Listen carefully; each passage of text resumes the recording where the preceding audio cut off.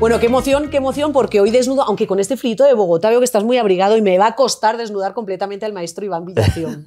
Gracias, gracias por aceptar la invitación. No, a ti por invitarnos, Eva, de verdad nos emocionó mucho. ¿Ha habido algún momento que Iván Villazón se levantó un día y dijo, sabes que tiro la toalla, no más?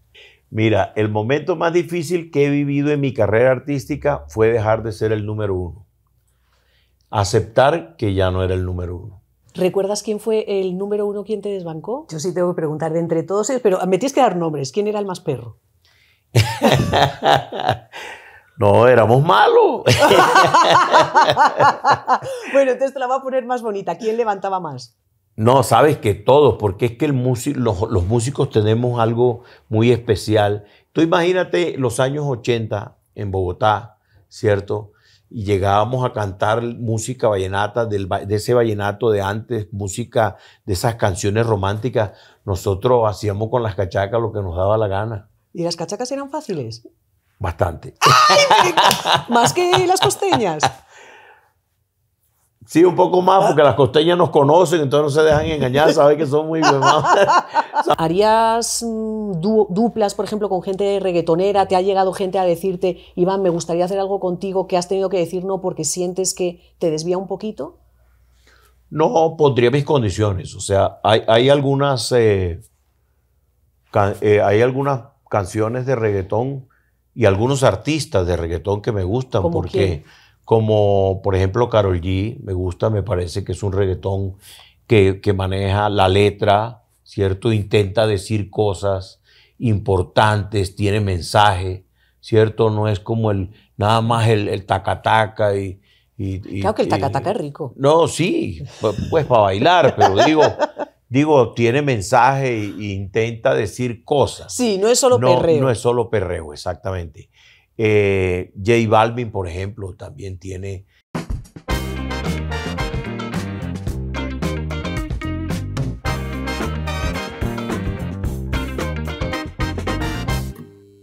Bueno, qué emoción, qué emoción, porque hoy desnudo, aunque con este frito de Bogotá veo que estás muy abrigado y me va a costar desnudar completamente al maestro Iván Villación.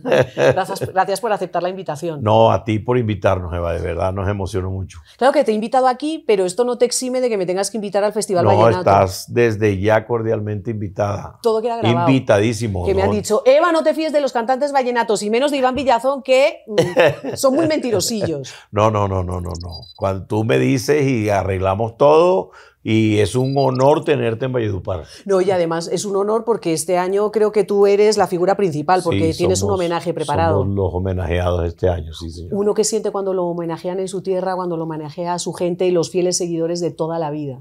No, mucha emoción, sentimos mucha emoción, mucha emoción y mucho orgullo, eh, también mucha responsabilidad porque no es solamente ser el homenajeado, sino que hay que aportar un grano de arena eh, bien importante para que el festival sea un, todo un éxito como lo ha venido siendo todos estos años, pero mucha emoción, mucha emoción porque son 40 años de vida artística, entonces es como que el reconocimiento, digamos que de la institución más importante que tenemos nosotros los músicos vallenatos, que es la fundación de la leyenda vallenata, es nuestra fiesta principal entonces, no, muy emocionados. Oye, eh, pregunto, pero con todo el respeto del mundo. Cuando a uno lo homenajean, uno piensa, mierda, ¿me estoy volviendo viejito? Te confieso que sí, te confieso que sí. Eh, digamos que me lo habían propuesto como tres, tres o cuatro años antes y, como que no, no, no, no, no, esperen todavía, porque uno dice, pues si me están homenajeando es como que ya... como que hasta aquí llegué. Como que ya, ya está bueno, ¿verdad? Pero no, no. llegó el momento de aceptarlo y, me siento muy contento porque me lo voy a gozar y me siento pleno también para, para, poder dar el show musical que, que, espero que sea el show musical de mi vida y, y en casa y con el parque lleno y, yo creo que es el sueño pues de cualquier artista. Mejor dicho, ¿y qué te ha hecho cambiar de opinión para que esta vez digas, bueno, sí, acepto el homenaje?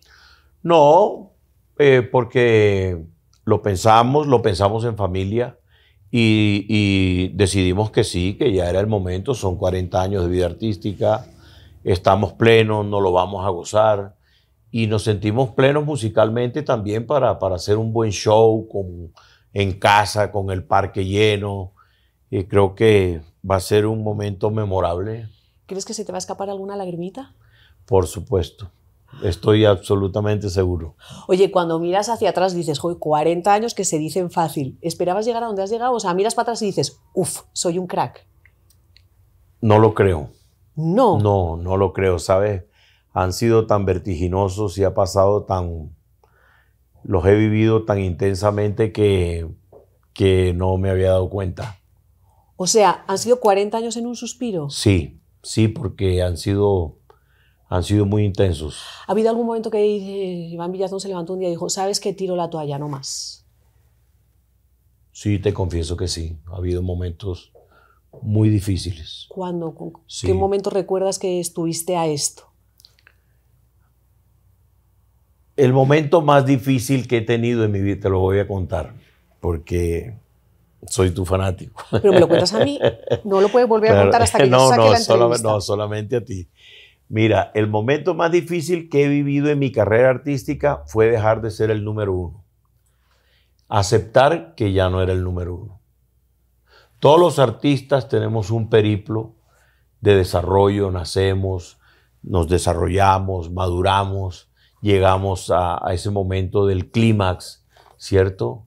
Que, que uno, pues, trabaja para eso, pero es la vida.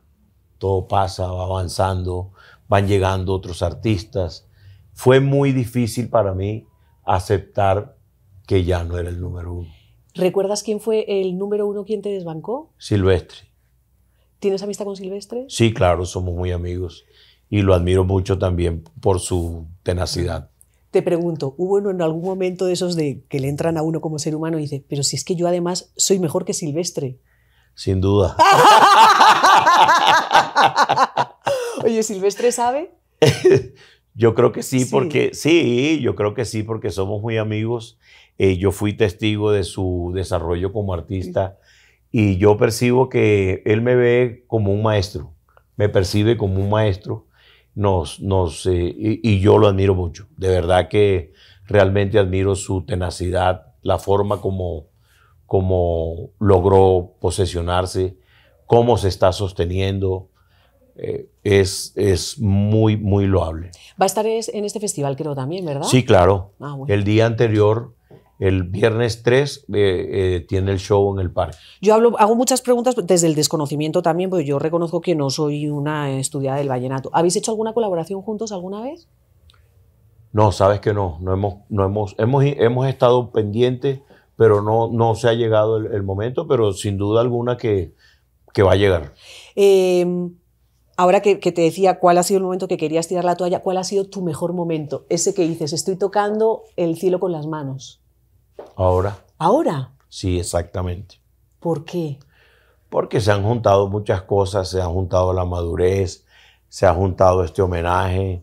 Acabamos de lanzar un disco, no grabábamos hace ocho años y, y ya tenemos un feedback extraordinario. Salió a, a plataformas, pero, Pero- en, en Valledupar siempre lo estrenamos un día antes. ¿Y que eso ha sido la locura? ha sido la locura. Mejor dicho, Valledupar Sí. hoy no ha dormido y ha bebido como loca. Desde ayer está el disco sonando muy bien. ¿Qué te han dicho? ¿Quién te ha llamado a decir? No, todo el mundo, todos los medios de comunicación, los amigos, eh, a través de las redes, los comentarios, las visitas.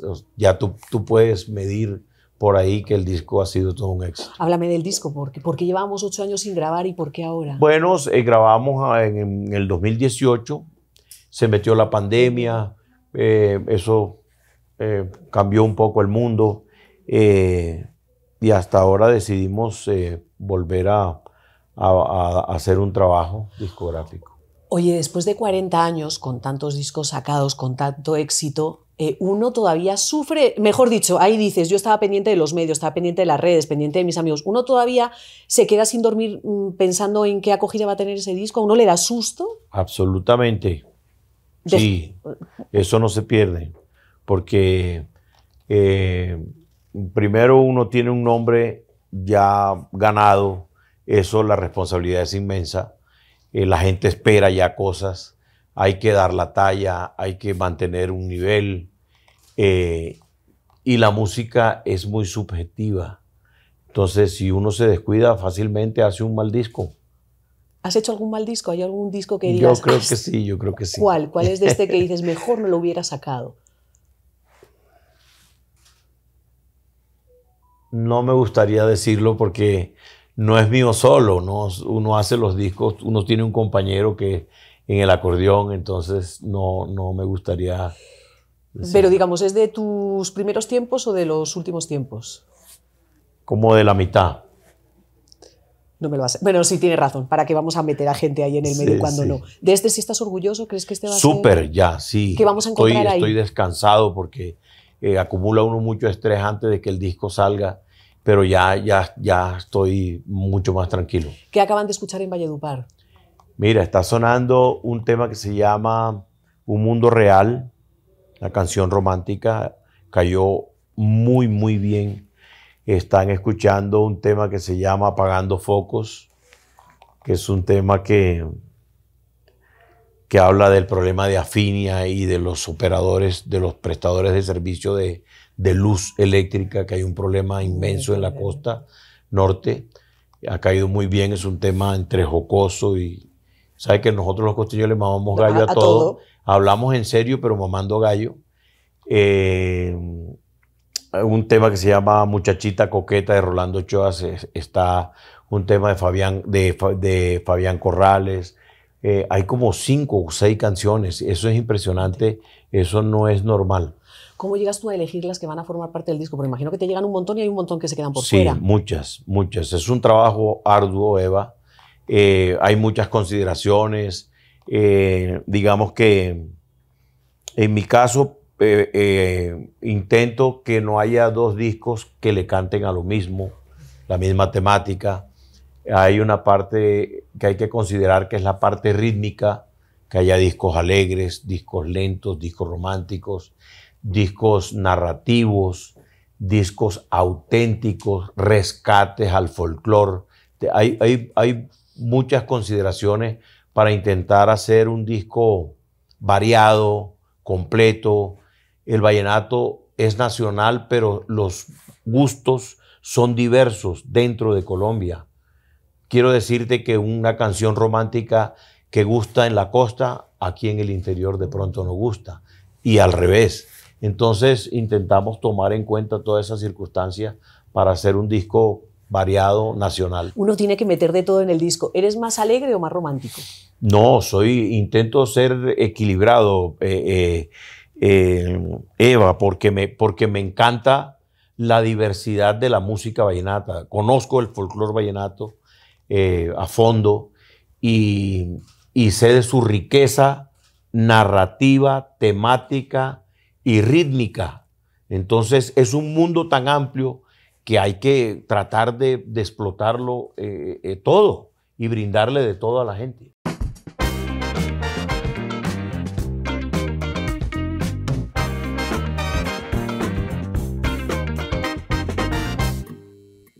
Oye, ahora que estábamos hablando de que uno, cómo ha cambiado la vida, es más, tu el primer disco, ¿cómo lo vendías tú? ¿Quieres que te cuente la verdad? Sí. Mi primer disco me tocó a mí comprárselo a la disquera para que saliera al mercado. ¿Cómo así? Porque eh, antes las disqueras mostraban el producto a los distribuidores y los distribuidores hacían un prepedido a consignación. Entonces iba a salir un disco de cualquier artista y la dijera mandaba la muestra a los distribuidores y los distribuidores decían, mándeme 30 discos de Villazón, 20 de Diomedes, 15 de Oñate, ¿cierto? Como yo era mi primer disco, nadie me conocía. Entonces nadie pedía mi disco. Y duró un año grabado y guardado. Y yo fui a donde el gerente de la disquera y le pregunté que por qué mi disco no salía al mercado, que teníamos un contrato firmado y me dijo que porque nadie pedía el disco entonces ellos no podían sacarlo sin un prepedido. Le pregunté que cuántos discos necesitaba para poder lanzarlo. Me dijo que 300 LP. En esa época eran long plays. y yo salí a buscar un cheque prestado a 30 días para comprarle los 300 LP y así salió mi primer producto. Yo te iba a preguntar eso. ¿A quién le pediste prestado el cheque? A Ernesto Lacero, un amigo. ¿Cuánto, en aquel momento, esos discos, cuánto costaban? 174.800 pesos. ¿Cuánto tardaste en no devolverlo? Se me olvida. No, me cogí mis 300 long play, me fui para Valledupar, porque yo vivía aquí en Bogotá. Eh, contraté un pico, lancé el disco y, con, y se lo vendí a mis amigos y con eso eh, recogí la plata. bueno, pero pudiste devolver la deuda. Sí, claro, sí, sí, pagué. ¿Y de hecho ganaste de ese disco? Sí, claro, fue mi primer disco y donde está, se llama El Arco Iris. Es mi, fue mi primer éxito, eh, fue, es un clásico de la música vallenata de la autoría del maestro Rafael Escalona. Así nací. Oye, eh, ¿cuál ha sido el disco que más réditos te ha dado? Que puede que sea no el que más te guste, pero con el que mejor te ha ido. Yo creo que, bueno, mi mejor disco, yo pienso, y mis críticos también lo dicen, se llama La Compañía, una, una producción que hice con Beto Villa. Sí, pero, pero para contestar tu pregunta, yo sé que va a haber mucha gente que no va a estar de acuerdo conmigo, pero yo considero que el disco que más rédito me ha dado se llama El Desafío. ¿Y por qué crees que va a haber gente que no está de acuerdo? Porque cambiamos un poco el concepto musical, buscando ser un poco más internacionales. Entonces el mundo folclórico vallenato me cayó encima, casi me, me acaban, pero considero que es el disco que más rédito me ha dado porque hicimos la banda sonora de un programa que se estaba estrenando en la televisión nacional que se llama El Desafío, el primer reality. El, la banda sonora de ese primer reality en, el canal Caracol lo hicimos nosotros y eso para nosotros fue, fue es la primera vez que un, cantante vallenato logra hacer algo tan importante a nivel nacional. Y por supuesto eso nos hizo conocer no solamente en todas las partes en Colombia donde todavía no habíamos llegado, sino que eh, trascendió fronteras. Oye, a veces ahora con todo lo que está pasando en la música, en todos los géneros, estos géneros ahora que vemos reggaetoneros que conducen Ferraris, viven, tienen avión privado, a veces dices, ¿me he confundido de género? No para nada. absolutamente.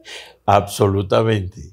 Absolutamente. ¿El vallenato ha dado para vivir bien y tranquilo? Sí, gracias a Dios. Sí, señora. Sí. Eh, ¿Harías, no sé si has hecho tampoco, harías du duplas, por ejemplo, con gente reggaetonera? ¿Te ha llegado gente a decirte, Iván, me gustaría hacer algo contigo que has tenido que decir no porque sientes que te desvía un poquito? No, pondría mis condiciones. O sea, hay, hay algunas, eh, eh, hay algunas canciones de reggaetón y algunos artistas de reggaetón que me gustan porque quién? como por ejemplo Carol G, me gusta, me parece que es un reggaetón que, que, maneja la letra, ¿cierto? Intenta decir cosas importantes, tiene mensaje, ¿cierto? No es como el nada más el, el taca-taca y, y, Claro que el taca-taca es rico. No, sí, pues, pues para bailar, pero digo, digo, tiene mensaje e intenta decir cosas. Sí, no es solo no, perreo. No es solo perreo, exactamente. Eh, J Balvin, por ejemplo, también tiene.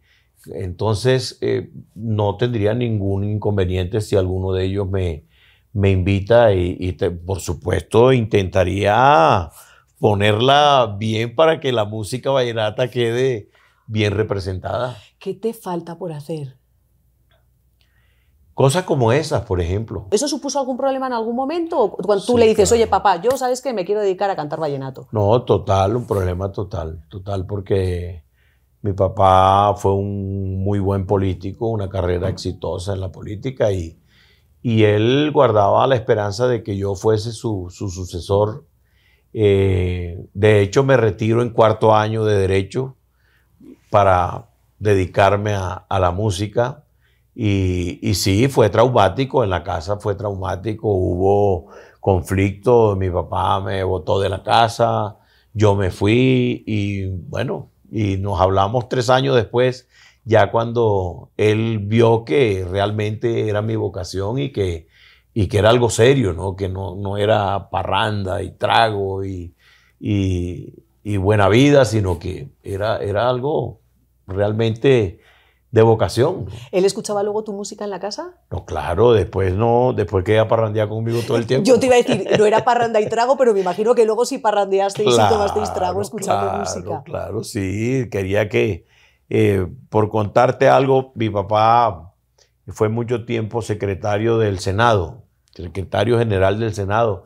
Entonces cuando salían mis discos, él pretendía que yo le, mandaba, le mandara 280 discos para regalarle uno a cada senador. Le digo, papi, eso no se puede porque los discos hay que venderlos. Eso no, yo te puedo mandar 5 o 10 discos, pero para todo el Senado. ¿Y se conformó con los 5 o 10? Sí, no, se ponía bravo. y tu papi, cómpramelos. Pero, pero, dile que me lo compren. Ahora que estábamos hablando de tu papá político, ¿la política nunca te ha picado? ¿Nunca te han llamado? ¿Nunca te han hecho faltas? No, me encanta, sí, me gusta, me gusta bastante. ¿Y nunca te hubieras lanzado? Bastante. Sabes que hace un tiempo tenía la sensación que en algún momento iba a suceder algo pero se ha ido dilatando. Se ha ido diluyendo, diluyendo. No, porque tenía como, de eso como cuando tú tienes como una, que tú dices, como, como una, como un, como un pálpito de que va a pasar, en algún momento va a pasar, ¿cierto? Pero se ha ido diluyendo. ¿Qué, se ha ido, ¿Qué pensabas que podía pasar? Que iba a incursionar en la política en algún momento, que iba a llegar un momento en que, en que se iban a dar ciertas circunstancias y que, que, me iba a ver eh, eh, abocado a... a ¿Lo pensabas más por Valledupar como una alcaldía o lo pensabas más nacional sí. No, por Valledupar, por Valledupar, por Valledupar. Pero todavía estamos a tiempo de ser alcaldes de Valledupar. Bueno, estamos jóvenes todavía, pero, pero te confieso que ese pálpito que tenía eh, se ha ido diluyendo y digamos que, que ya, ya como que no... Pero en algún momento te ofrecieron, te estaban ahí como... No, no, nunca, no, no nunca. Y, ahora, si lo hicieras, ¿irías por firmas o tienes algún partido afín? No, tendría que pensarlo mucho, mucho, mucho, Eva. Yo creo que ya no. Yo creo que no, no, ya no. Por eso te digo que se ha ido. Yo creo que después de decir esto no va a faltar la llamada telefónica. Acuérdate de mí. Bueno, entonces te llamaré porque estás lanzándome. estoy lanzando. Estoy... ¿Valledupar necesita un poquito de empujón y de ayuda? Mucho. Sí. ¿Te duele tu Valledupar? Mucho, mucho.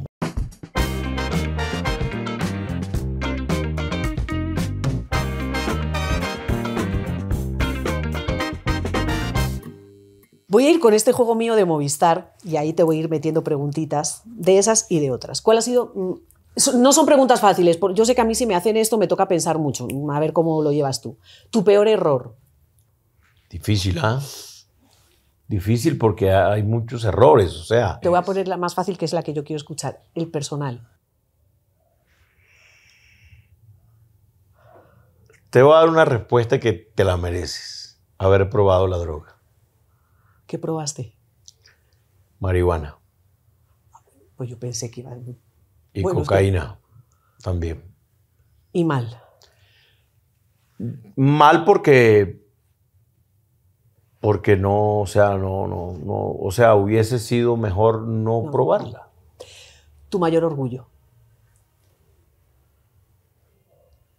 Eh, mi mayor orgullo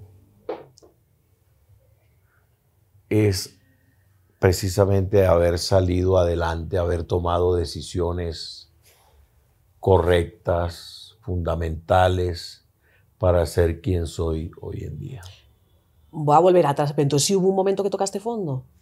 Con la droga no. No, ah. Con la droga no. Gracias a Dios. ¿Tienes un amor platónico, una mujer que dices, mm, me hubiera encantado conocerla? Yo sé que era yo, pero ya, te me conocí, sí. Estamos conectadísimos.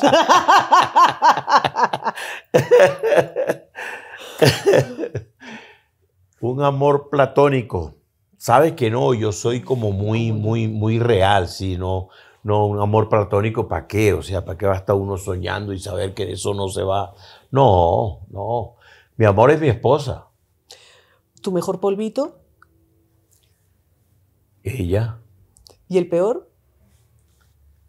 Te va a tocar decir ella, No, porque e- solo has- ella también. Claro. e- ella también, porque sí, a, ve- a veces uno, a veces uno se le chispotea, ¿sí o no? ¿Cuál es tu mejor canción? Yo sé que es muy difícil elegir, pero Sí, no sé si sí, es muy alguna. difícil, son 40 años, pero El Arco Iris es una canción muy especial. La peor, la que no te gustaría volver a cantar.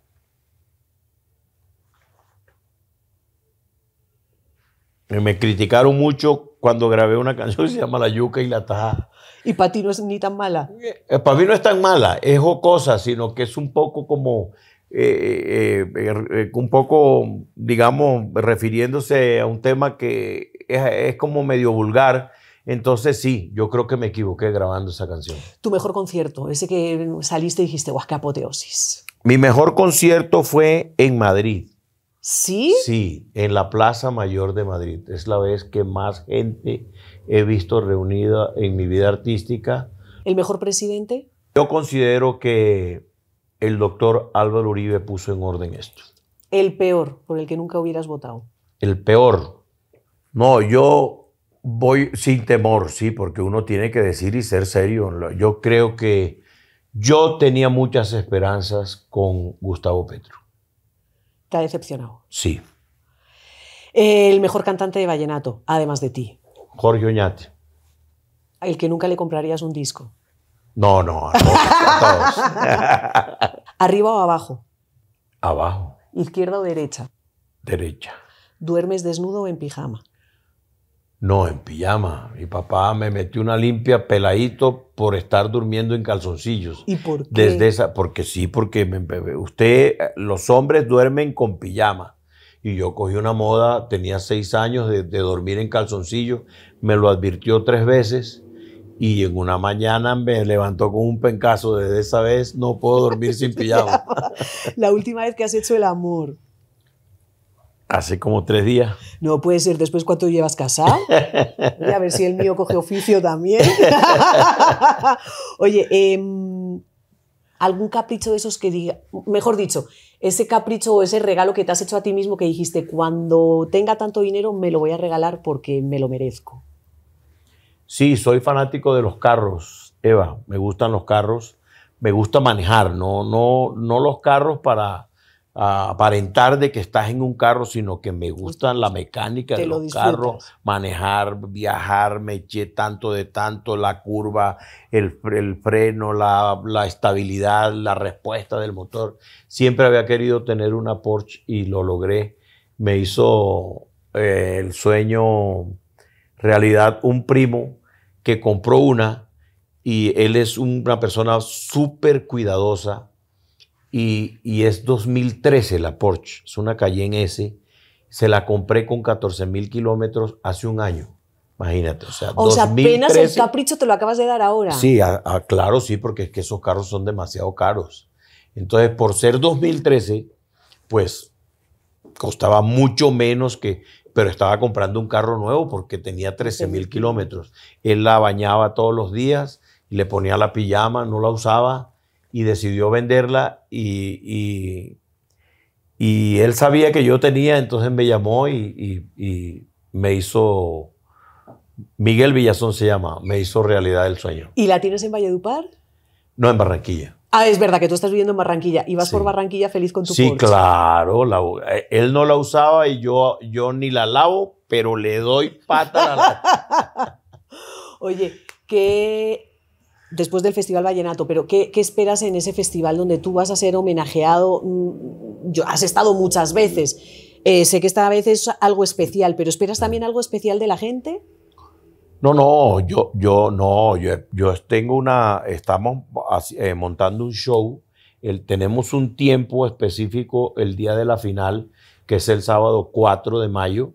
La fundación al homenajeado le otorga un tiempo específico y estamos montando un show especial ese día. Cuando te digo especial, Eso te iba a decir, adelanta, dime algo. eh, es que- especial porque no es el show al cual la gente está acostumbrada cuando va a nuestros conciertos. Vamos a tener invitados especiales, como como los acordeoneros que nos han acompañado en estos 40 años de vida artística, los principales compositores a los cuales les debemos los éxitos que hemos tenido en estos 40 años. Algunos amigos que han sido muy especiales en nuestra carrera musical. Como nosotros tenemos un grupo, cuando yo estaba comenzando acá en Bogotá, Eva, yo llegué a Bogotá de 11 años y me fui de aquí de Bogotá, me, me devolví cuando tenía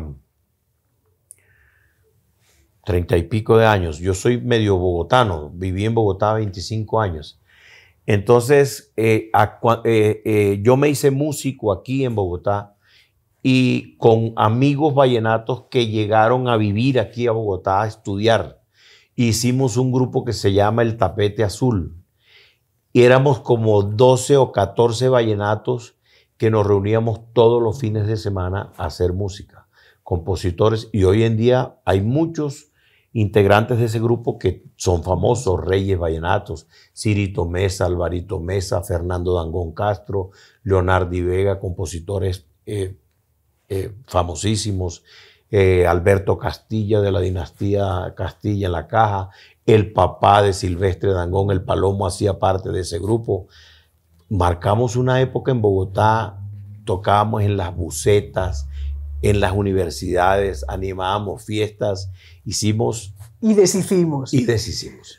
Sí, entonces esa gente va a tener un cupo en mi homenaje porque fue la gente con quien yo me, me hice músico. Pues yo quiero saber. Son mis colegas. Os juntáis y miráis para atrás y echáis anécdotas sí, Nos juntamos, tenemos un chat que se llama El Tapete Azul y seguimos viéndolo. De hecho, el sábado ellos me brindan un homenaje en Valledupar y coincide con el lanzamiento de mi disco. Entonces vamos a festejar el nuevo disco y me van a hacer un lanzamiento con una fiesta hermosísima. Yo sí tengo que preguntar de entre todos ellos, pero me tienes que dar nombres. ¿Quién era el más perro?